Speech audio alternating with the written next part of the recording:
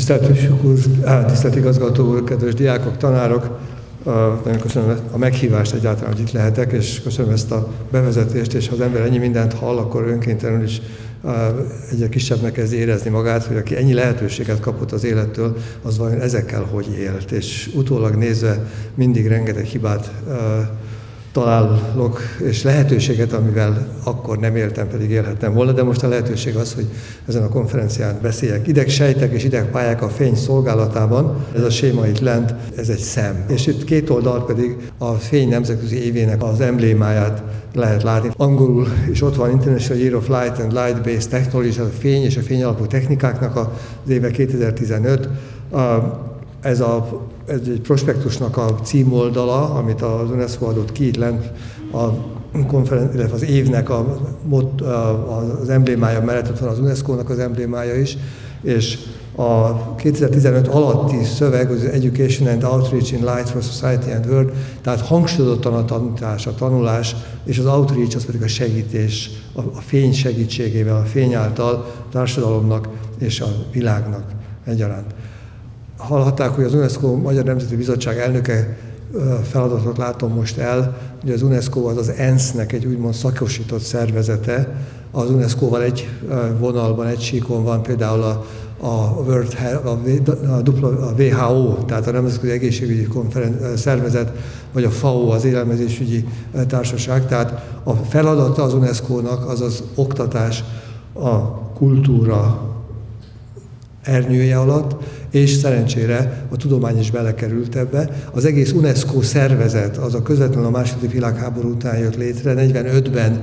határozták el és írták alá 34 ország egy úgynevezett alapokmányt, ami az UNESCO-nak az alapokmánya. Az első konferenciára 46-ban került sor, ez Párizsban volt, azóta is Párizsban van az UNESCO-nak a központja, majd még mutatok valamit az első főtitkárról, és az UNESCO-nak az a sajátossága, hogy a, ugye 197 államország a tagja, és az országok zömében helyi nemzeti bizottságok vannak. Tehát itt Magyarországon is engem most az a megtiszteltetés, hogy erre a négy évre ennek a bizottságnak az elnöke lehetnék, főtitkárral dolgozunk együtt, Hudesz Bálint munkatársunk, aki itt van velünk, és Gyarmati Vera végezzük azt a munkát, ami azt jelenti, hogy az UNESCO-nak a, a központból érkező tanácsait, útmutatásait, iránymutatását valósítjuk meg Magyarországon, és az oktatás és a kultúra és a tudomány területén pedig igyekszünk mindazt a jót, ami ezekben a területekben benne van, ezeket nyilvánosságra hozni. Tehát 2013-ban döntött az ENSZ úgy, hogy legyen 2015 az UNESCO, hogy a fény és a fény alapú technológiák nemzetközi éve. Ez egy procedúra volt, ami érdektelen, és miért, miért szentelünk egy évet a fénynek és az optikának. Nagyon sokfajta felsorolás van ebben a prospektusban, amiről az előbb itt már szóltam. Az interneten lehetett látni egy megoldást, hogy amelyik azt írja, hogy a fény, a tudomány, a természet, a kultúra és a technológia központi tényezője, hogy itt van lent a képek során, tehát science, technology, nature, culture, development, fejlődés, a fenntarthatóság, sustainability, oktatás és a történelem, Külön kiemelik azt, hogy milyen fontos a fény az oktatásban, egészen abszolút helyzetben, amire mi nem is gondolunk, hogy másfél milliárd ember fejlődő országokban naplemente után fény hiányában már nem tud tanulni. Ugye ez számunkra, hát ez már nagyszüleink számára se volt már gond.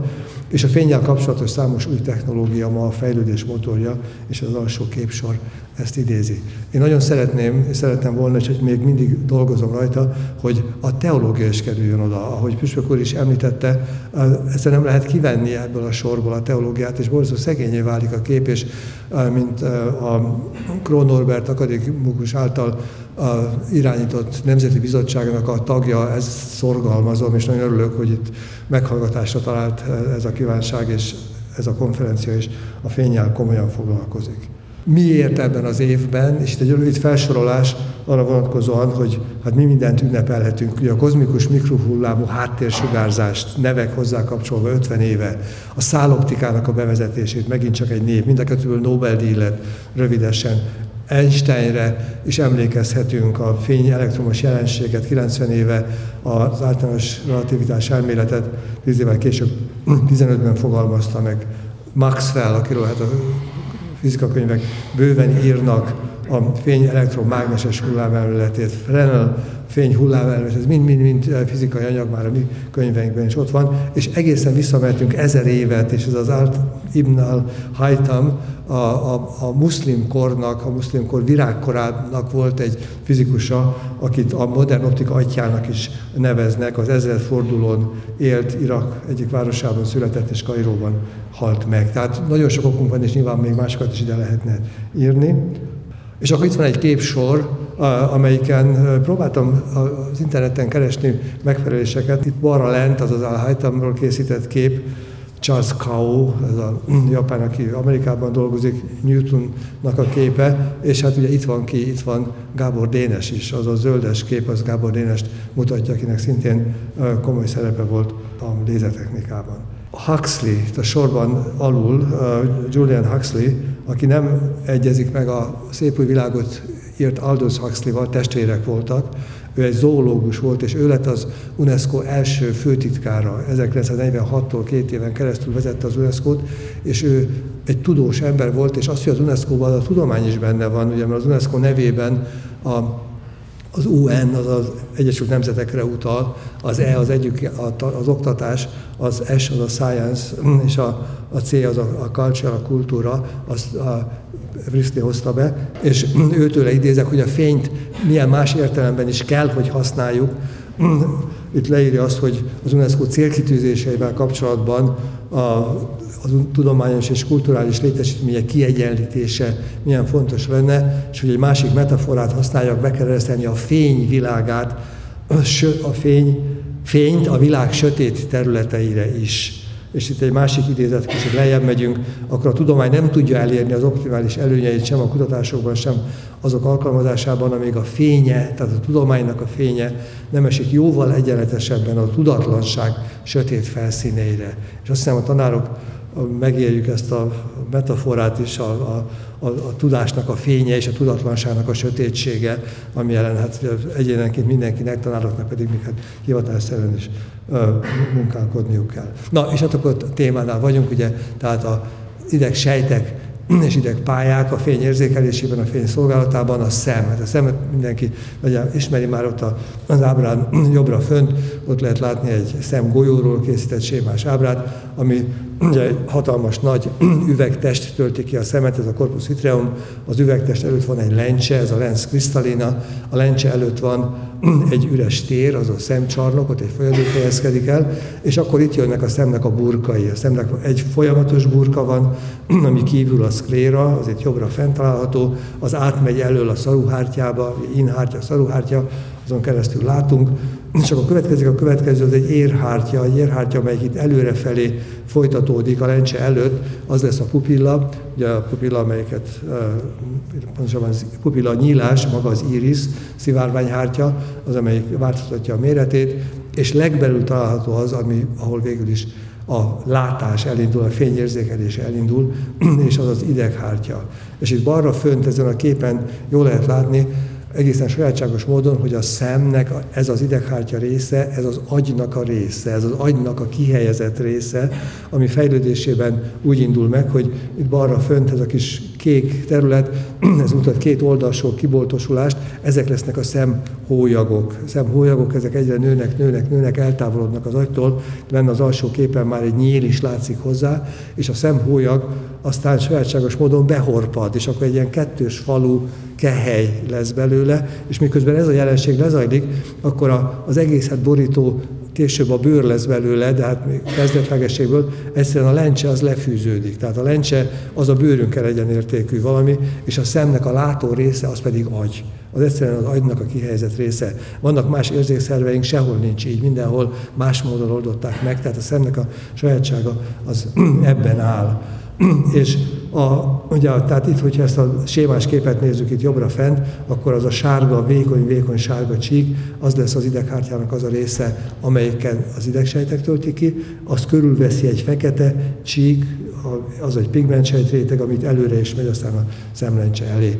A fény ugye előről jön, a pupilla változtatható, és a lencsének az állításával tudjuk fókuszálni, távolban nézni, vagy pedig valamire közelben. Ez az alsó kép, nyilván sokan tudják, a vakfolt. Ugye a vakfolt a szemnek szem belső részének van két kritikus része, egyik itt jobbra, ahol ez a sárga elvékonyodik egészen, az az éleslátásnak a helye, az a sárga folt, és a sémán nincs rajta, de itt egy szövettani metszeten rajta van a vakfolt, ami azért jön létre, mert egyszerűen a szemideg, amelyik itt sárgával látszik fönt, de itt valóságban is egy szövettani metszeten, az innen indul el, a szemideghez húzódik ez a két kis ilyen sáv, amelyik csíkolt, ott lesznek majd az idegsejtek, és ahol a személyleg elindulott nincs, ez hiányzik. Tehát azon a területen ez a retinánk hiányzik. Tehát ez egy lényeges felépítés. Így néz ki szövettani metszetben egy retina. Szövettani metszet, ahol rétegeket látunk, méghozzá olyan rétegeket, ha legkívülről nézzük, fönt van egy pirosas csík, az az érhártyának a része, van egy feketés, barnás rész, azok a pigmentsejtek lesznek, pigmentsejtek egy teljes burkot képeznek a retina számára, és akkor következnek különböző rétegek. És a rétegekre az jellemző, hogy vagy ezek a kék foltok vannak benne, sejtmagokat jelentenek, vagy nincsenek benne, és akkor más struktúrákat jelentenek. Az a ilyen hajladozó búzamezőre első terület, azok a fényérzékelő receptorok, tehát a pálcikák és a csapok rétege található itt ebben a viszonylag vastag csíkban. Utána a, a később majd a sémáson is bemutatom, a sejtmagok azok idegsejtekhez tartoznak.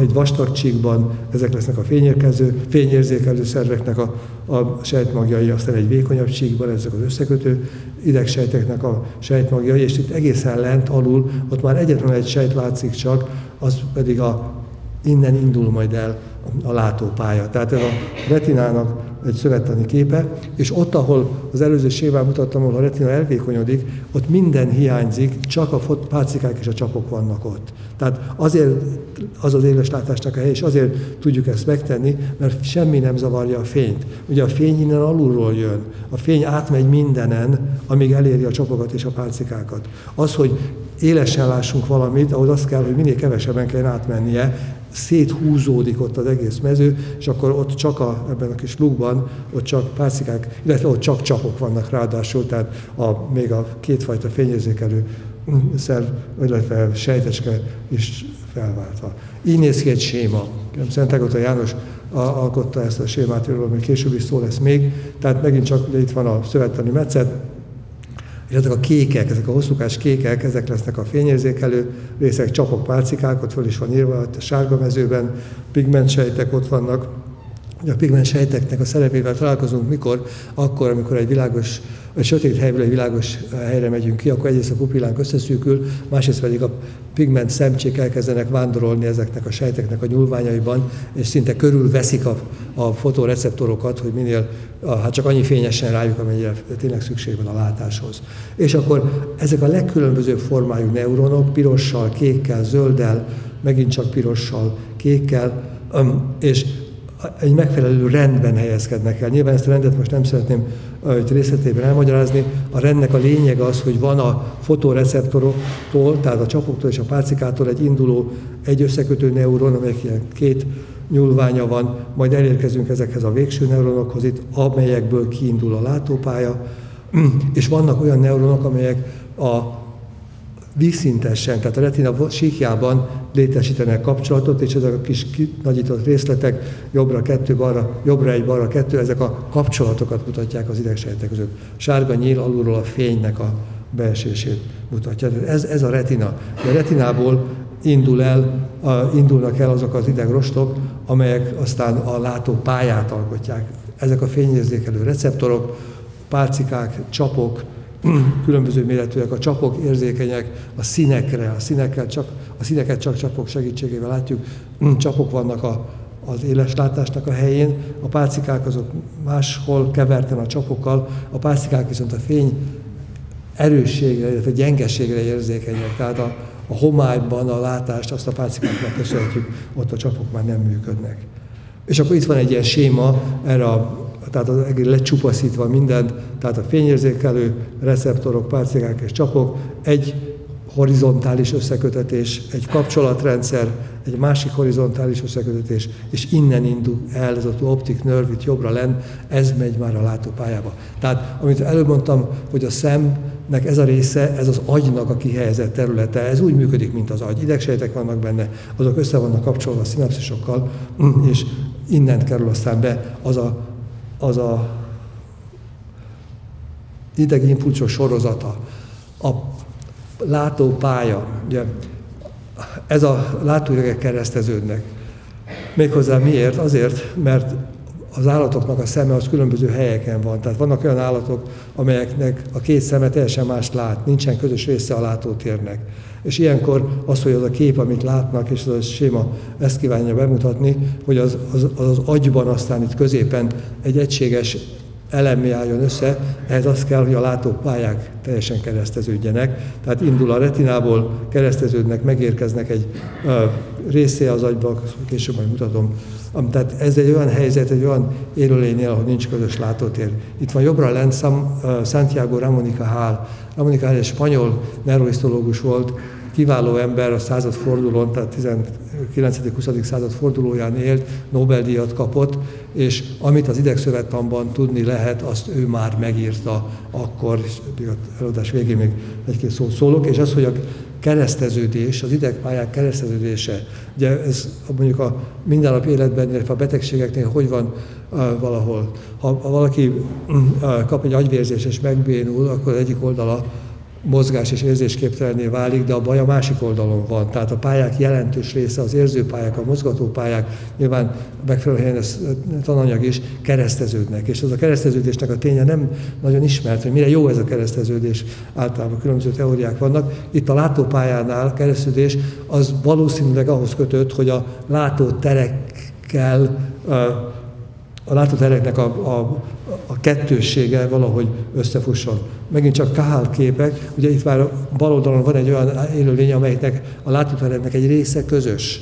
Egy része közös, sőt, a jobboldali séma az már szinte az emberi látórendszert mutatja, ahol mi tudunk konvergálni, és mind a két szemünkkel ugyanarra a területre nézni, egy egységes képet alkotni, és akkor kiderül, hogy a látópályáknak kereszteződni is kell, meg nem is kell kereszteződnie. Miért? Azért, mert a következő képen egy, megint csak a tankönyvvel vett rész, ugye a piros-zöld mező az a látótere az egyik szemnek, látótere a másik szemnek, a sugarak azok a lencsében kereszteződnek, tehát a lencse megforgatja a képet, úgyhogy a zöld része, tehát a látóterünknek ez a jobb része, ez mindkét szemben a bal oldalra, a retinának a bal oldalára fog vetülni. Tehát van egy olyan látótér felünk, amelyik az orrunkhoz van közel, az egyik szemen, és van egy olyan látótér, amelyik a halántékunkhoz van közel. És ezt a kettőt kell majd valahogy összehozni.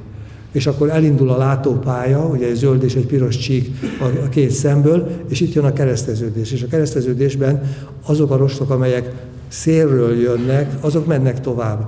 És azok a rostok, amelyek a középső területről, tehát a két orhoz közel lévő retina félről jönnek, azok kereszteződni fognak, és ezáltal a folytatása, a keresztülés után, az már a látótereket, ugyanazt a látóteret hozza egyik oldalon is, és a másik oldalon is. Ez a séma arra is jó, hogy ugye, ezt anatómia vizsgán kérdezzük, tehát ez az ABC egészen G-ig, azokat a látótér kieséseket mutatja, amelyek valahogy a látópályából megmagyarázhatók. És annélkül, hogy végigmennénk az egészen, szeretném kiemelni a B-t, a B-vel jelzetet, és ha megnézzük a B-t, akkor eléggé furcsán mind a két szemnek az oldalsó látótere esik ki, mert a kereszteződő rostok sérülnek ennek következtében, és ez a jel, a beteg ezzel szemészhez megy hogy valami zavarja, nem, nem egészen jó, oda kell nézni, hogyha valamit látni akar, és kiderül, hogy itt a látótér keresztülése alatt ott van a hipofízis, tehát az agyalapi mirigy. És az agyalapi mirigyből kiinduló daganat, az ott szépen nyomja és teszi tönkre a rostokat. Tehát egy, egy személyzeti lelet vezeti az orvost egyértelműen oda, hogy végül is hát miről lehet szó. És hogyha megnézzük a C léziót, ugye a C lézió az egyik szám az tökéletes, a másik szemben pedig éppen egy a, a másik feladatot ennek. Ez pedig azért érdekes, mert itt a, a, ugye az agyi vénás rendszer az egy ilyen járatokban megy, mert a nyomásviszonyok azok hát egészen sajátságosak a koponya belül, és itt egy nagyon jelentős ilyen járat van, és ebben a járatnak az a sajátsága, hogy a fő verőér, nem a fő verő, az agyat ellátó verőér, az pont átmegy ezen a járaton, és hogyha kialakul egy aneurizma, egy tágulat, akkor a látóhideget ott nyomhatja. Tehát ez a sajátság, ez, egy, ez nagyon sok gondolkodásra ad aztán okot a diagnosztizáló orvos számára. a látópálya corpus geniculatum laterale, tehát itt van, ez egy átkapcsoló állomás, onnan kiindul egy újabb rostozat, és az a látókérekhez megy. A látókérek hol van? Az a hátul, az a halánték lebenyben található. Ez a másik pálya azt mutatja, hogy a látóterünk, a retinának különböző pontjai hogy vetülnek ebben az egész útban. Most már megnézhetjük azt, hogy mit, mi történik. Tehát itt van a corpus geniculatum laterale valahol középen, és innen a fő irány az a látókérek felé megy. Következő ábrán azt mutatom, de hova mehet még? Van egy reflex pálya, a pupilla reflex. Pupilla reflex, tessék egy lámpával bevilágítani valakinek a szemébe, nem durván, a pupilla összeszűkül. Hogyha úgy világítok be, hogy a két szem közé valami kis hát, falat építek, akkor ebbe a szembe világítok, a másik is összehúzódik. Tehát a pupilla reflex az két oldali összekapcsolt, ennek a pályáját lehet itt látni, diagnosztikailag fontos lehet. De a 24 órás ritmus irányítása, de mindannyian érezzük, hogy van egy éjszaka-nappal a rendszer, ami most a hétvégén kicsit megbolondul majd, mert ugye egy órával elcsúszunk, az innen indul. Tehát a látópályából jönnek rostok, amelyek valahol leválnak a pályából, és átkapcsolnak egy olyan idegrendszer hálózatra, amelyik ezt biztosítja, hogy most éjjel van, most nappal van, az egész ritmust. És a harmadik pedig a fényjelenség felé történő reflexes fordulás. Tehát az, hogy ha valamit meglátunk, akkor ugye a fejünket, nyakunkat fordítjuk abba az irányba, tájékozódási reflexként, tehát ezek ilyen járulékos részek. És a, a, ezt most ugorjuk át, és akkor itt van végül is a látásnak a, a most már az agykérgi vonulata. Tehát itt, itt balról indul, itt van a retina, ugye itt mindjárt van egy P petvény, meg egy M petvény, tehát azok a rostok azok nem egységesek, hanem csoportosítani lehet őket már a retinában való helyzetük alapján is, és van egy ilyen pálya és egy olyan pálya. Itt az agyra vetítve középen ez a, az átkapcsoló állomás, amelyeken nagyon szép rétegekben helyezkednek el a sejtek és a rostok, és itt is van egy rész, amelyik inkább a P-rostokat fogadja, ez a parvó, van egy, amelyik az M-rostokat, az a magnó, és innen megyünk hátra a látókérekhez. Ugye a látókéreg az előző ábrán jobban rajta volt, tehát itt a fönt, ott az a piros-kék, tehát az okcipitális lebenynek a mediális belső felszínén lehet látni, tehát ide vetül, és innen most már a látópálya is ketté válik, mert nagyon sok minden uh, ért, van benne a látásban, benne vannak a formák, benne van a mozgás, benne vannak a színek, benne vannak az, hogy egy objektumra koncentrálunk, vagy a környezetét bele együtt tekintjük, és ezek Ezekre már nem elég az elsődleges látókéreg, amelyik itt a halántéklebenyben van, hanem az agynak egy nagy felső részét, ide dorsal pathway, tehát a fali lebegynek a neuronjai is beleszólnak ebben, és a temporális is beleszól, és itt osztozkodnak ezen a különböző területen.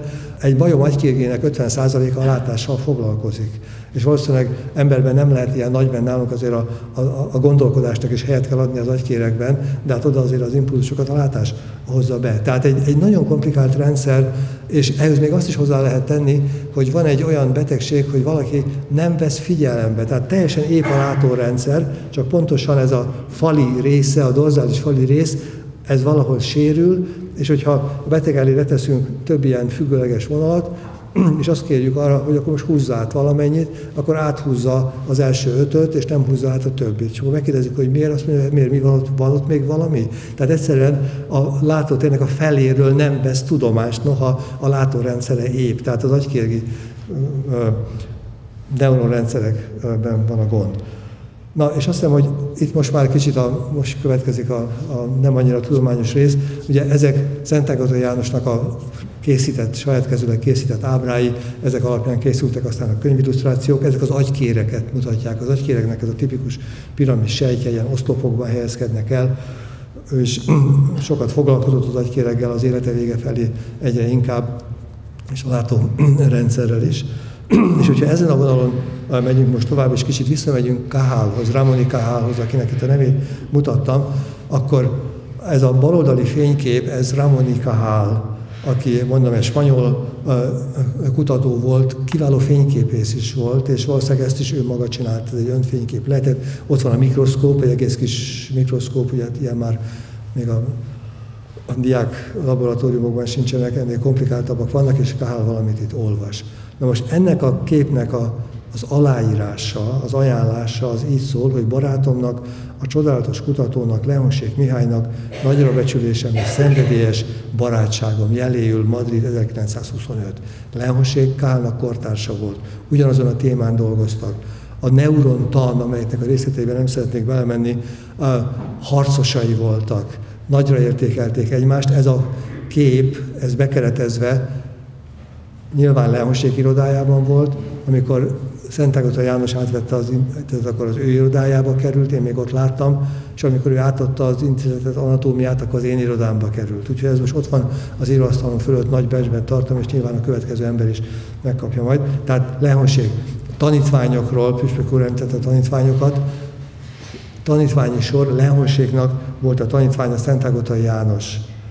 Ez a kép, ez továbbra is itt van Kahál, a születési időpontjai 1952-1934, Nobel-díjat 1906-ban kapta meg, és írt rengeteg cikket, de két könyve megjelent, és itt bal oldalon, francia fordításban lehet látni az idegrendszer szövettana, az emberi és a vertebrát, tehát a gerincesek a szövettana.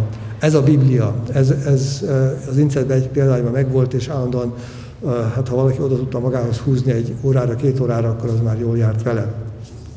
Ezt a könyvet többen lefordították angolra, és az egyik angol fordítás pedig a Passzik házaspár végezte. Passzik házaspár, ők Argentinában nőttek föl, New Yorkban dolgoznak, és ők is nagy kaháltisztelők voltak, spanyol anyanyelvként, és elővették a, a Kahálnak a Bibliáját, a könyvét, elmentek a Kahál laboratóriumba, Kahál intézetbe, Madridba, és ott kijavították szinte. Tehát csináltak egy kötetet, aminek itt van jobbra fönt a első oldala, a három kötetbe rakták, és ez to the memory of János John Szentágotai. Tehát ezt a fordítást, angol fordítást ők Szentágotai emlékére készítették. Miért? Azért, mert ők Szentágotai János csak a munkatársai voltak, és nagy tiszteletet éreztek iránta is, és Kahál iránt is, és akkor most már csak egy, egy lépés, hogy a Szentegotai János térre hívjam azokat, akik ott még nem jártak. Szentegotai János tér az a, a Talikálmán utcának egy mellékutcája, a Tűzoltó utcát kicsit elhagyva. Ez az épület itt a háttérben az egyetemünknek az új életani épülete, és ott tavaly, 2013-ban, most már két éve Kahál és Szentágotai kapott egy szobrot. Tehát a, a, így jönnek össze Kahál, Lenhosség könyveinek a fordítói, és végül, úgyhogy ez büszkeségünk itt, de itt van a két, kiemelve a két fotót, tehát Szentágotai baloldalról szemben nézhetem ilyen közelről Kahálral, és azt hiszem, hogy ezt Szentágotai is örülne ennek a jelenségnek, és biztos, hogy Kár is büszke lenne Szent Ágotaira. És vissza a fényévéhez, a fényév.hu honlapon mindenféle érdekességeket lehet látni, futóprogramokat, tervezett programokat a fényévéről. Nagyon köszönöm ezt a lehetőséget, és köszönöm, hogy meghallgatták ezt az előadást.